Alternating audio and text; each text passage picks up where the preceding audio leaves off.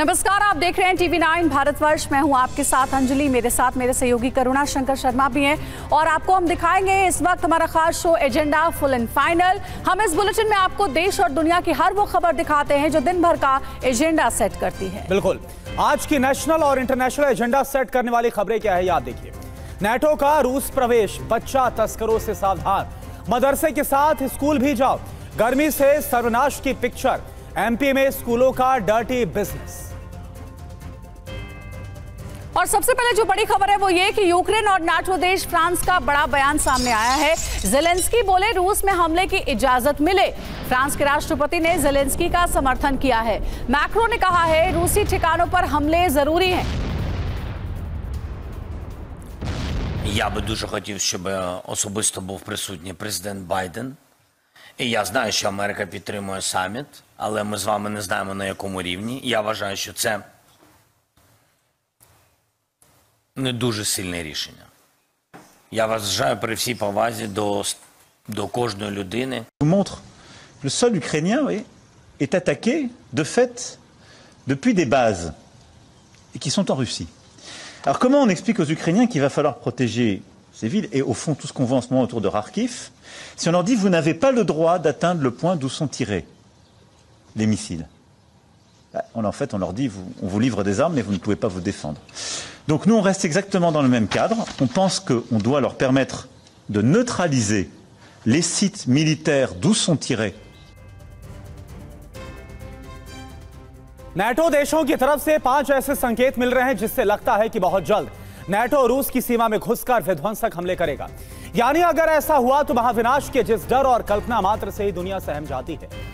वो हकीकत में बदल सकता है। वो संकेत अब आपको बताते हैं।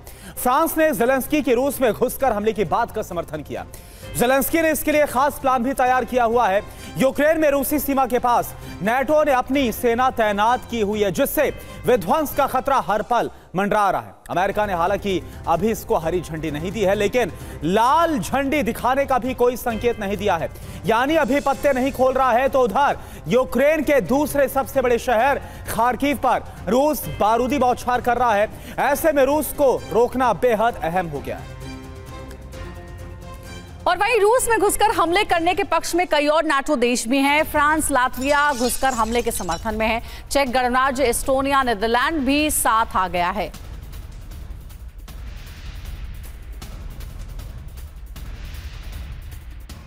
तो ऑपरेशन इनसाइड रूस को किन नेटो देशों का साथ है यह भी आप जान लीजिए खुद। नेटो प्रमुख जेंस स्टॉल्टनबर्ग ने कहा यूक्रेन को हमले से ना रोके। लातविया के राष्ट्रपति एडगर्स रिंकेविक्स ने कहा कि पाबंदी का कोई कारण नहीं। है चेक गणराज्य के पीएम पेट्रो फियाला ने कहा है कि कीव को हमले की इजाज़त मिले। एस्टोनिया के रक्षा मंत्री हन्नो पेवकूर बोले कि हथियार देने वाले देश इस बारे में सोचे चिंतन करें। इसके साथ ही नीदरलैंड की रक्षा मंत्री काजसा ओलेंग्रेन ने कहा कि रूस के भीतर घुसकर हमला करने या फिर नहीं, इस पर बात आखिर क्यों नहीं हो रही? सीधे एक्शन हो। हालाँकि रूस में घुसकर हमले के खिलाफ बेल्जियम और इटली तो वहीं अमेरिका और ऑस्ट्रेलिया ने फैसला यूक्रेन पर छोड़ा है। तो देखिए, अब जो है वो रणनीति इस तरीके की बन रही है कि नाटो के कई देश समर्थन में हैं कि रूस पर हमला कर दिया जाए। ज़्यादा जानकारी के साथ हमारे सहयोगी सुमित चौधरी हमारे साथ जुड़ रहे हैं, उनका रुख करेंगे। सुमित, ये बहुत बड़ा डेवलपमेंट है, क्योंकि इससे पहले हमने देखा कि नाटो पर्दे के पीछे से यूक्रेन की मदद कर रहा था रूस के खिलाफ। लेकिन अब कई नाटो के देश हैं जो तो ये तक कह रहे हैं कि रूस पर सीधे आक्रमण ही क्यों नहीं कर देते हम? देखिए, बिल्कुल, हालाँकि नाटो देश लगातार ये बात तो ज़रूर कह रहे हैं। इंडिविजुअली अगर आप बात करें फ्रांस की तो फ्रांस लगातार ये कह रहा है कि ना सिर्फ़ रूस रूस के अंदर हमला करने की बात कह रहे हैं यूक्रेन द्वारा, बल्कि उनके हथियारों की सप्लाई जो नाटो देशों की तरफ़ से हो रही है, जो अमेरिका की तरफ़ से हो रही है, उनका इस्तेमाल यूक्रेन कर सके रूस के अंदर अटैक करने के लिए। तो ये कई पॉसिबिलिटी को एक साथ एकजुट कर अटैक करने की बात कर रहे हैं। लेकिन सबसे इम्पोर्टेंट बात यह है कि लगातार ये बातें इंडिविजुअल आप कह सकते हैं कि देश लगातार कर रहा है चाहे फ्रांस है चाहे दूसरे देश लेकिन एकजुट होकर नाटो देश कोई भी ऐसा बयान नहीं दे रहा है जिसमें कह रहे हैं कि ना सिर्फ़ उनके हथियार बल्कि उनके जो सिपाही हैं जो उनके सैनिक हैं वो किसी भी तरीके से डायरेक्टली इस पूरे अटैक में इन्वॉल्व हो। और वो इसलिए भी क्योंकि रूस ये साफ़ कर चुका है कि अगर ऐसा हुआ तो फिर निश्चित तौर पर रूस सीधे तौर पर अटैक करेगा नाटो के देशों में। तो बिल्कुल तो यानी कि डायरेक्टली बिल्कुल डायरेक्टली जो सोल्जर्स हैं, वो रूस के खिलाफ इन्वॉल्व ना हो, लेकिन यूक्रेन को इसका पूरा समर्थन दिया जाए सपोर्ट किया जाए रूस पर अटैक के लिए। बहुत बहुत शुक्रिया आपका। इस बीच वॉल्थमिर जेलेंस्की और बेल्जियम में बड़ी डील हुई है। यूक्रेन को एक बिलियन डॉलर की सैन्य सहायता दी गई है। यूक्रेन को तीस एफ़ सिक्सटीन लड़ाकू विमान देगा बेल्जियम जेलेंस्की के बेल्जियम दौरे में दोनों देशों की यह डील पक्की हुई है।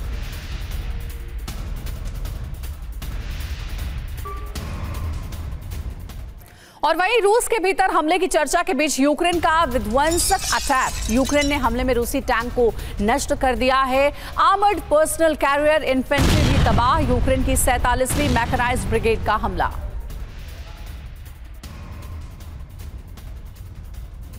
और अब बात आपके बच्चों की सुरक्षा की हम करेंगे। हैदराबाद से खबर है जहाँ बच्चा तस्कर गिरोह का भंडाफोड़ हुआ है। 11 आरोपी गिरफ़्तार हुए हैं 13 बच्चों को बचाया गया है। हैदराबाद की राजकोंडा पुलिस ने गैंग सदस्यों को पकड़ा है। चाइल्ड वेलफेयर कमीशन को सौंपे गए हैं सभी बच्चे।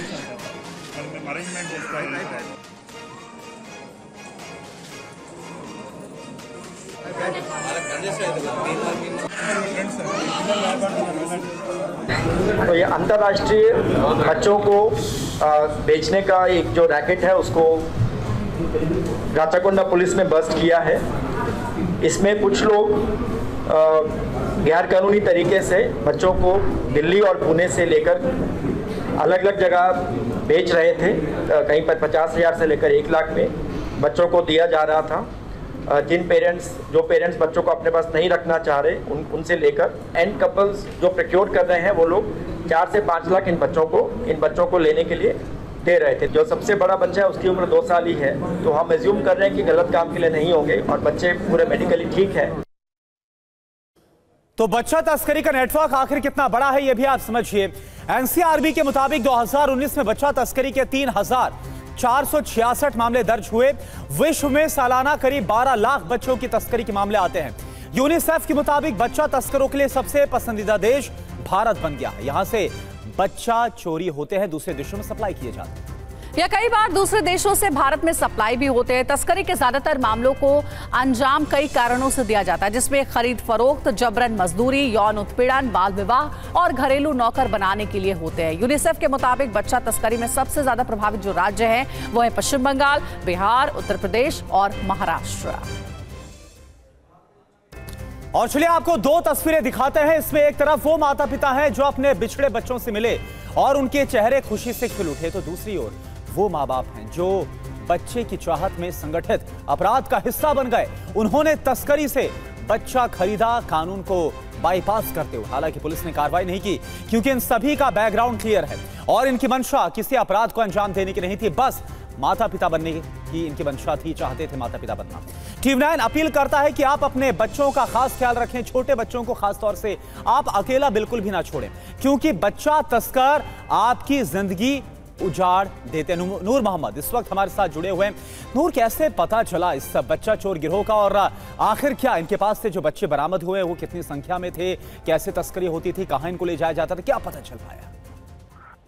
देखिए, हैदराबाद पुलिस ने एक बहुत बड़े बच्चा तस्करी के मामले को पकड़ा है, जो अभी चार दिन पहले एक बच्चे को दो लाख रुपए में बेच रहे थे, जहाँ पर पुलिस ने छापे मार के गिरफ़्तार करने के बाद उनसे पूछताछ में पता चला है कि मुंबई, पुणे और दिल्ली से लोग बच्चों को किडनैप करते थे। बाद जगहों पर ये ऐसी चोरी करके लाके तेलंगाना और आंध्र प्रदेश के कई इलाकों में बेच दिया करते थे।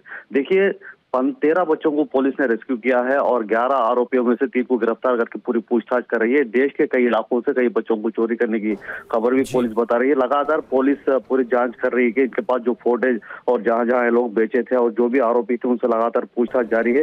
ये लोग बता रहे हैं कि अभी तक हम लोगों ने पचास बच्चों की तस्करी की है। देखिए देश के कई इलाकों में चोरी करने के बाद आंध्र प्रदेश और केरला के कई इलाकों में बेचने की बात आ रही है और लगातार तेलंगाना पुलिस छापेमारी कर रही है कि लोग जो बच्चों को रेस्क्यू किया गया है उनको होम को शिफ्ट किया गया है। यहाँ पे एक बात बहुत हैरत वाली ये है कि जिन बच्चों को चोरी किया गया है और जिनको भेज दिया गया है वो माँ बाप माँ बाप भी कल पुलिस स्टेशन के सामने आकर धरना करने लगे। हमारी क्या गलती थी? हम लोग तो बच्चों को बाजाबता खरीदा था। देखिए उनका प्यार जो था वो खुलकर सामने आ रहा था मगर पुलिस उन माँ बाप को भी समझा रही है और जो लोग ठीक है, पुलिस को बहुत बड़ी कामयाबी मिली है नूर मोहम्मद, जो जानकारी आप दे रहे हैं, बच्चा तस्कर गिरोह का भंडाफोड़ हुआ है, कई लोग पकड़े गए हैं और अब जाँच चल रही है। अब खबर है, गुजरात के मदरसों से जुड़ी हुई। गुजरात सरकार का बड़ा फैसला, गुजरात में मदरसों के साथ स्कूली शिक्षा अनिवार्य कर दी गई है। स्कूली शिक्षा अनिवार्य करने वाला पहला राज्य गुजरात के शिक्षा मंत्री ने दी है जानकारी, मदरसों में पढ़ रहे सात हज़ार छात्रों के सर्वे हो रहे हैं। सूरत के मदरसे में आठ सौ छात्र स्कूल नहीं जाते हैं, सर्वे ये कहता है। मदरसा का जो राष्ट्रीय बाल संरक्षण आयोग द्वारा दी गई माहिती अनुसार हमने सर्वेक्षण किया है। सात हज़ार बच्चे प्राथमिक बेच पर ये फिक्स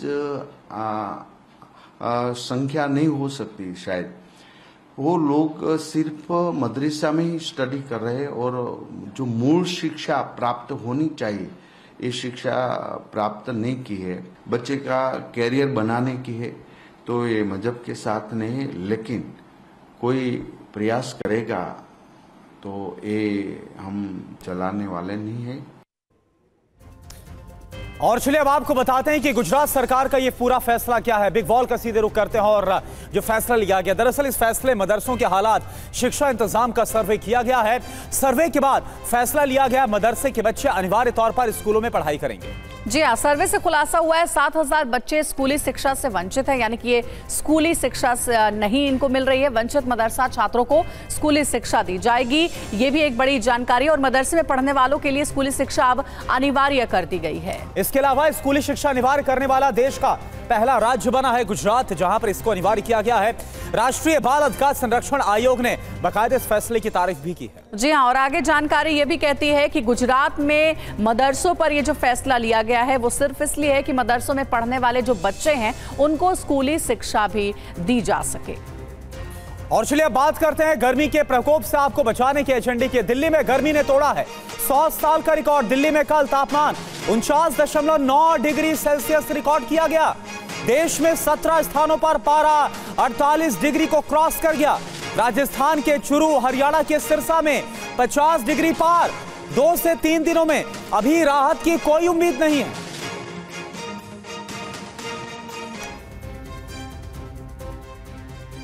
और अब जानिए कि देश में कहाँ कहाँ गर्मी कहर बरपा रही है। दिल्ली, राजस्थान, हरियाणा, गुजरात, उत्तर प्रदेश, महाराष्ट्र और पंजाब इस वक्त झुलस रहे हैं। सूरज यहाँ पर आग उगल रहा है। अहम जानकारी यह है कि उत्तर और मध्य भारत में भीषण गर्मी से हाहाकार मचा है देश में।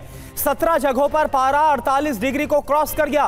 राजस्थान में लू से चार लोगों की मौत हो गई। वहीं चुरू सिरसा में तापमान 50 डिग्री पार पहुँच गया है। दिल्ली में आज भी गर्मी का रेड अलर्ट जारी किया गया है। कुछ दिन में दिल्ली में छिटपुट बारिश हो सकती है। तो देखिए हीट वेव को लेकर के अलर्ट जारी किया गया है और कई जगहों पर स्कूल भी बंद किए गए हैं, जहाँ पर अभी समर वेकेशन नहीं हुए थे। गर्मी पर सीएसई की रिपोर्ट में एक चौंकाने वाले दावे भी किए गए हैं। उसके बारे में भी आपको जानकारी दे दें। रात में महानगरों का तापमान बढ़ रहा है। कॉन्क्रीट और डामर के प्रभाव से ज़्यादा तापमान तेज़ी से बढ़ते शहरीकरण से गर्मी और ज़्यादा बढ़ रही है। तो देखिए, रात में महानगरों का तापमान बढ़ रहा है, सिर्फ़ दिन में ही नहीं, बल्कि रात में भी जो हवा चलती है, वो बिल्कुल गर्म हवा चलती है और गर्मी ने 100 सालों का रिकॉर्ड तोड़ दिया है। दिल्ली में कल उनचास डिग्री टेम्परेचर था। गर्मी पर सीएसी की चौंकाने वाली रिपोर्ट है कि रात में महानगरों का तापमान लगातार बढ़ रहा है।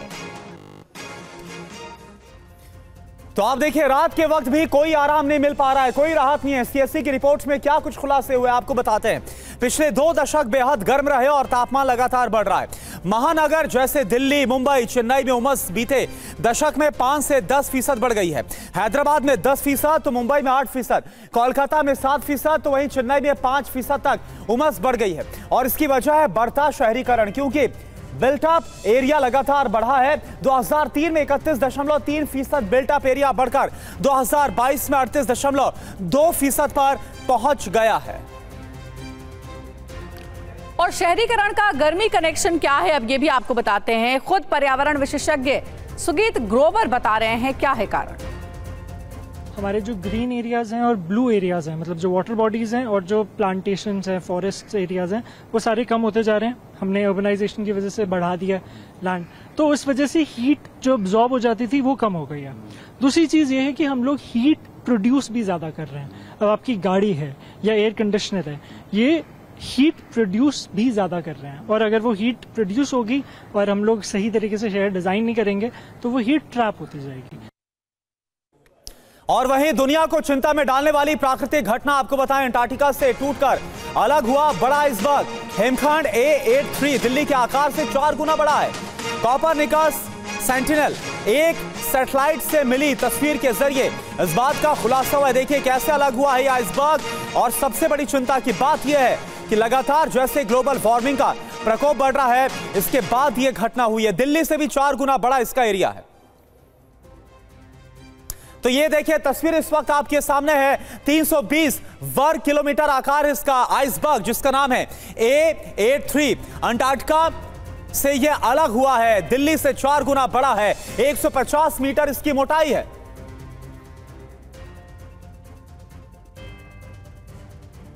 तो ये आइसबर्ग कैसे टूटा? इसके क्या मायने हैं? ये हम आपको बताते देखिए ए एट थ्री आइसबर्ग कैसे टूटा? आप आ, मेरे पीछे आप देखेंगे कि तस्वीरें भी सामने आ रही हैं देखिए ग्राफिक्स के ज़रिए।